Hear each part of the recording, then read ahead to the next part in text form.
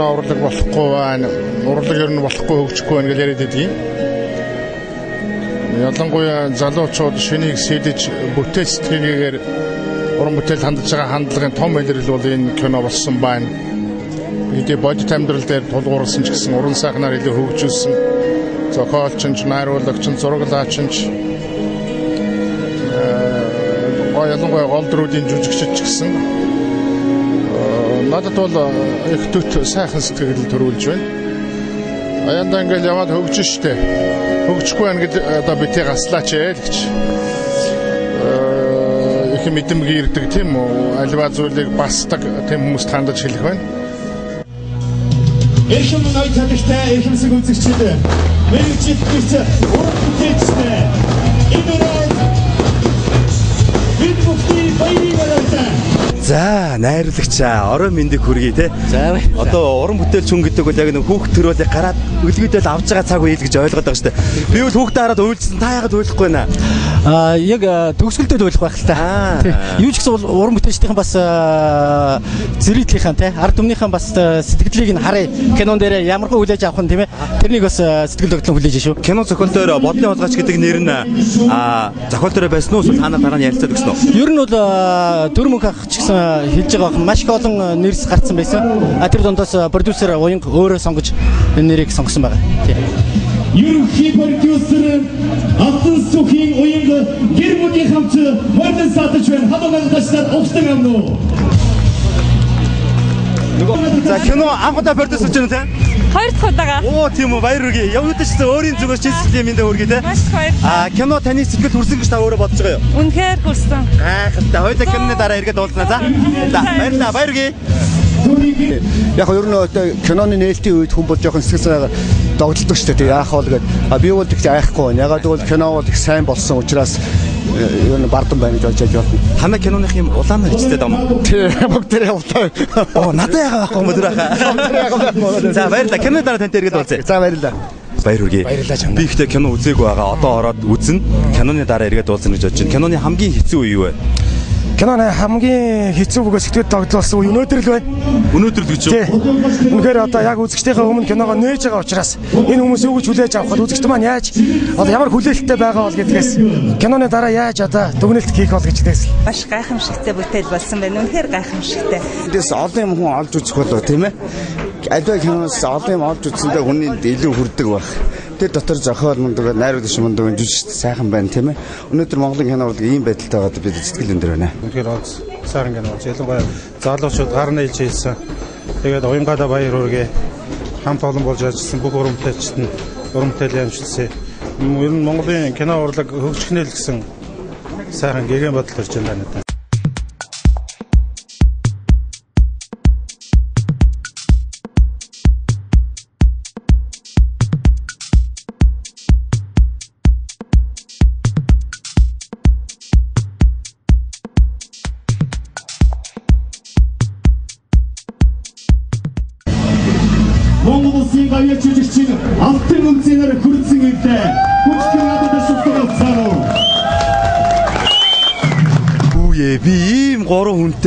Ийм агуу гурван хүнтэй зэрэгцээ зогсож ийн гэж тест өөрийгөө төсөөлсөнгөө юутай ч та бүхэндээ шинэ уран бүтээлээ үлгэж авч байгаа чинь баяр хүргье. My name is Inba. Yeah, my name is Roy Roy Leung. Roy Loing. Where from? Hong Kong. Hong Kong. Hi. Hi, what's my your name? My name's Raymond. Raymond? Raymond Lau. Raymond Lau. And yes. Uh, did you watch uh, Mongolian movie? Uh, I have watched the trailer. Yeah. Trailer. The trailer. Only trailer. That's why we come here. Whoa. okay. Okay, thank you. Thank you very much. Ah, nice to meet you. Nice to meet you too.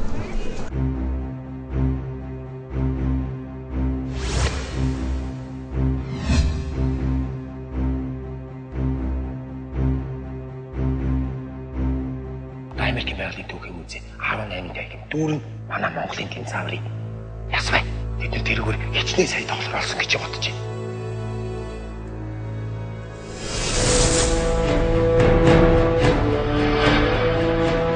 Монгол улсын ерөнхийлөгчд юм.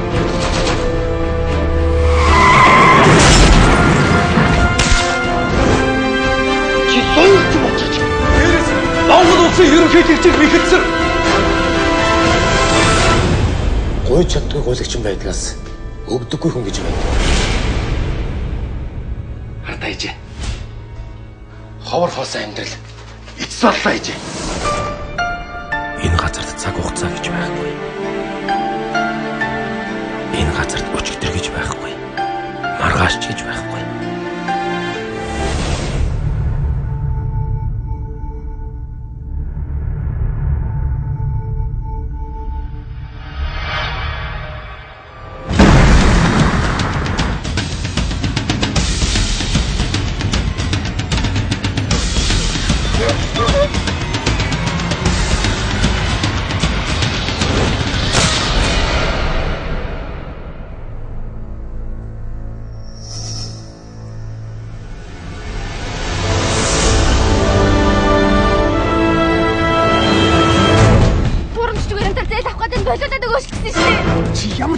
Хийснэ мэдчихэв үү?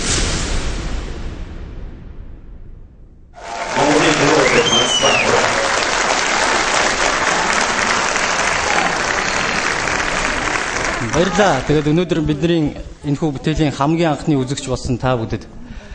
Тэгээд та бүгдийн шүүмжээр энэ кинод чухам цаашаа яаж явах үгүй нь шийдэгдэх бах. Тэгээд та бүгдэд ямар ч байсан таалагдсан болов уу гэж миний зүгээс бол бодогдож байна. Тэгээд маш их олон улсууд л баярлалаа гэж хэлмээр байна. Нин төрөнд Wisdom Bill продакшны хамт олон бөгөөд уянга захиралд маш их баярлалаа. Яагаад гэвэл энэ э, продюсерын алба гэдэг энэ кино алба нөөдөр Монголд ингэж гарч ирж байгаа нь өнөөдөр Монголын кино урлагийн хөгжихийн өнөөдөр хамгийн том түлхүүр нь болсон юм аа. Тийм болохоор ийм том сайхан продюсерийн алба дахин дахин төрөөсэй гэж бүгдээрээ хүсэн яриа. Ер нь э, манад э, драмын төрлийн кино хөгжих хэрэгтэй юм болоо гэж боддог. Ялангуяа энэ, э, одоо энэ киног бол намтарчсан кино гэж ярина л та. Зарим талаараа хөрөг киноч гэж ярина. Тэгээ ийм киноны хувьд бол манад сүүлийн 20 жил тэр болгон бас хийгдэж байгаагүй. Хийгдсэн ч гэсэн маш ховор хийгдсэн ийм төрөл боллоо гэж би үзэж байна. Тэгээд Сингд оржиг би улам их юм хийх сайн найруулагч гэж боддог. Тэгээд Сингд оржиг маань дараа дараагийн уран бүтээлүүдийг тэсэн ядан хүлээж байна. Энэ киноны хувьд бол үнэхээр манай үзэгчид бас дахин дахин үзмээр сургамжтай сайхан кино болсон байна гэж хэлмээр. Сингдүр найруулагчтай, ерөнхий продюсер Уянгаада, гол дүрийг бүтээсэн Амраада киноны баг 50 60 хүн байгаа. Бүгдээрэнд нь маш их баярлалаа. Хэрвээ эднэр нь байгаагүй бол энэ зүгээр 120 хуудас цаасал гэртөвчих байсан болов уу гэж бодож байна. Тэгэхээр энэ киногоор бас дамжуулаад яг үзэгчтэй яг юуг хүргэе гэж зорьсон байна таны хувьд? Яг гоо ерөөсөө гол нь энэ дээр юм байгаа юм л да зүгээр 90 саяын ганц өхөн амьдралаас сэдвэлсэн л болохоос ганц өхөн тухай кино бол нэгдүгürt биш. А 90-ад оны үеийн хүмүүсийн хэв шинж төрийг гаргая гэсэн бодол байсан. 90-ад он бол манайхаа шилжилтийн үе ядуу байсан архины очрор гэл одоо янз бүрийн байлаа шүү дээ. А ийм үед бол бас хүмүүс бие биенийхээ бодлыг хулгайлж ирсэн юм уу гэсэн бодол над төрсөн л дөө. Тэгэж бодлын хулгайчд нэрлсэн.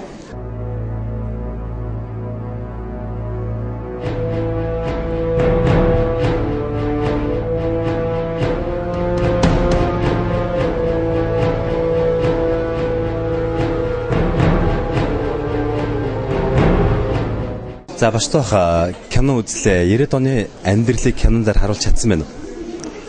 Э, Ер нь бол нэлээд хэсэг нь бол яг 90-ад оны байдлыг яг үнээр нь бодит байдлыг харуулж чадсан гэж ойлгож байна. Тий. Та бол Монгол улсын ардын жүжигчин хүн те. Энэ бол Монголын кино урлаг.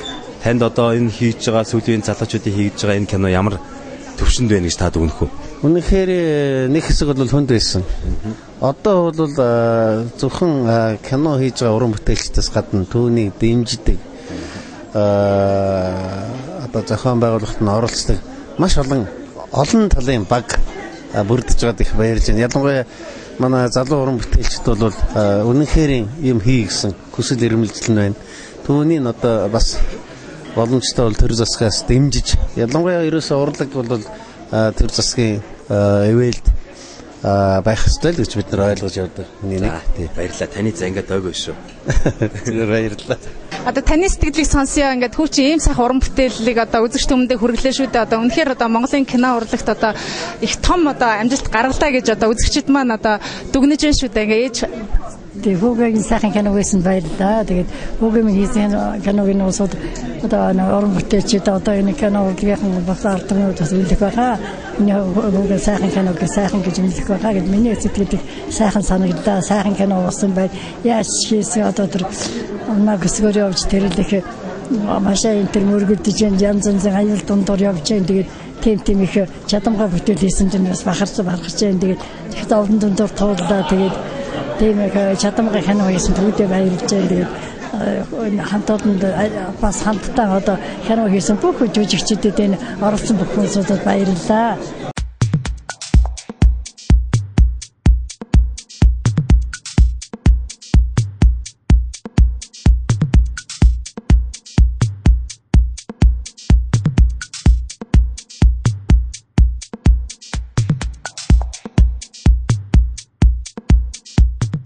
Агигаас бас киноны ярьцлага авах ийм сайхан мөч надад бас тохиолдол юм чи яасан өндөр юм бэ? Өндөр өсгөдөө утал өмссөн юм уу? Угаасаа юм өндөр юм уу те? За кино ямар санагдав? Аа кино маш сайхан болсон байна. Тэгээд яг хүний амьдрал гэдэг утгаараа те яг хүнд хүрсэн. Тэгээд зохиолын явдч гэсэн маш гоё зохиолтой. Тэгээ хийцэн явж гисэн маш гоё хийсэн. Юм гоё кино болсон байна. Яг яг юу таалагдлаа? Яг юу таалагдлаа? Аа Амрагийн үсгэн байсэсгүй. Аа гүй гүй. Яг би ганц үх гэдэг хүний тулсан амьдралыг одоо үзээд тэгээд бас ийм хувь тавилан ийм амьдрал байд юм байна гэдэг зүйлийг бас хүмүүст ухааруулж ойлгуулж тэ хүн болгон бас энийг ирж үзээрэй одоо бидний одоо амьдралд донд бас ийм амьдрал туулаад ингэж явж байгаа хүмүүс бас байгаа юм биш үү гэдэг бас энэ киноноос харах болоо тийм мэдрээсэ гэж хүсэж байна. Тэгээд түрүүн тэр амрагийн нүцгэн байсан эсэг болсон байна. Тэр тийм эсэг байсан юм уу? Би ерөөс анзаараагүй шүү. Чи айгүй анзаарсан юм байна те. Үгүй кино үзээ ойлгодгүй юм уу? Жокета. Үнэхээр одоо урд үеэсээ бити алхамж бити холдоорой. Бид чинь хийсэн бас залуусыг дагаад урагшаа гэж явж явах дуртай шүү гэж хэлээ.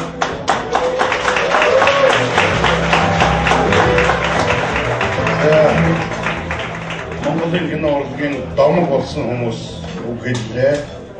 За миний хувьд бол ганцхан өгүүлбэр тэр юу гэхээр Монголын кино урлаг гэж нэрлэгдэх брэндэд энэ кино тэнцэн. Баярлалаа. Тийм нэг хүндэд үлдээ энэ кино хийж чадсан та бүхэнд баярлалаа. Та нарын уран бүтээл өнөөдөр хаач үзүүлэхэд тэнцэн. Түүнээс гадна энэ кино бүтээсэн зохиолч төрөө найруулагч сингэ оператор амраг гол дүрийн жүжигчин амраа намайг амраа гэж хэлж чаддаг тэр залуу баярлалаа. Кино бизнес мөн үстэй.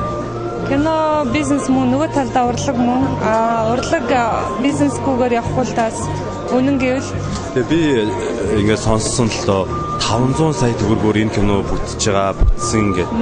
Үний юм болов? Өөрөө чи үзэд ямар санагдсан бэ? Би ч одоо нөгөө ерөөсө гэртээ ч хүнсээ чи ерөөсө мөнгөний ямар ч тийм баримжаа байдаг шүү дээ. А яг оо манай кино бол нэг жилийн хугацаанд хийгдсэн. Дөрөв улирал дамнаж хийгдсэн, хоёр улс дамнаж хийгдсэн. А мөн Монголын хамгийн шилдэг уран бүтээлчдийг одоо ажилуулсан байгаа бид нар. Кино зохиол гэхэд Монголын хамгийн анхны Холливуудын стандартаар бичигдсэн зохиол гэж байгаа. Мөн бид нар кинонда тусгай техникүүдийг Америкаас захиалж авчруулсан. Жишээ нь Жишээ нь бол car tools гэдэг яг тэр буудалцаанд одоо хөөцөлтөөндөө хэсгийг бол урд нь бол Монголд яг ингээд юу гэдэг оператороо нэг машинда бэхлээд ч юм уу тэгээд нэг жоохон монголчилсан маш аюултай одоо тийм нөхцөл байдал зураг авдаг байсан бол Western Film Production одоо яг car tools-ыг Америкаас авчирсан.